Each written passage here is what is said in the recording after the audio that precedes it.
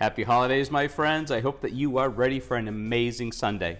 And today's quote is The tiger springs in the new year, us he devours. That was by T.S. Eliot, the publisher, playwright, poet, and essayist.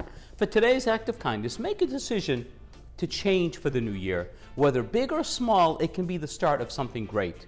Today's positive affirmations today I choose to be happy every day in the coming new year. I thank you for watching and you make me happy every time you comment and share my daily videos. I wish you an amazing rest of your Sunday.